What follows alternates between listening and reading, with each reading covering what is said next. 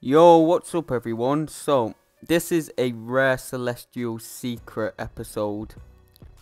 We're focusing on Mr. Negative today. I've had a Ascended Mr. Negative for a very long time. He was actually one of my first Ascensions. And I used to love the character. I ascended him for the Safeguard meta. And he was great for that.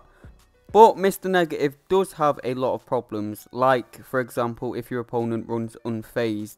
They're just going to go unstoppable when you try to evade and hit you in the face. Or sometimes the AI goes so passive that it won't even attack into your heavy and it won't let you evade. So you get hit in the face. But whilst I was yapping, that was a rank 3 onslaught in 30 seconds, which is kind of ridiculous. My point being, I normally don't use Mr. Negative anymore.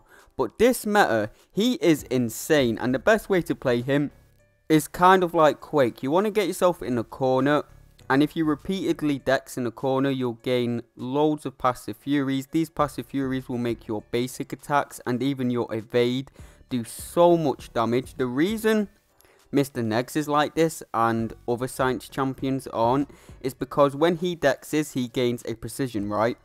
Every other champion keeps this precision until their next attack, but Mr. Negs can get rid of this precision by dashing back and gain a new one by dexing. And what the node is doing, it's repeatedly trying to nullify that precision. And since we can keep on gaining that precision, we keep getting passive fury buffs because science attackers gain a passive fury whenever they are immune to nullify. I hope that makes sense. If it doesn't, I'll put it very simply. When you dex, you gain a passive fury with Mr. Negative and that is why he's so strong this meta rank 2 Killmonger, rank 2 Bullseye, rank 2 Photon, all in under 30 seconds. Now, I did mention the best way to play him this meta. It's kind of like Quake, dexing in the corner and using your evade for damage. But you can play him normally as well. You can use his normal rotation. And it's much faster this meta. It's still not as fast as the Quaking method. But you can just play Negs normally and you will still win most matches. Maestro is a very good opponent for Mr. Negs this meta since we gain 5 easy passive furies from Dex in Maestro's SB1. And yeah, we got this rank 3 Maestro down in 40 seconds, which is still very, very fast. That will win you most matches for sure. And the last match is this rank 2 Dust. We're just going to play this normally. You don't like to parry Dust, so I try to avoid that in this matchup. But we played Mr. Negs normally and used his normal rotation.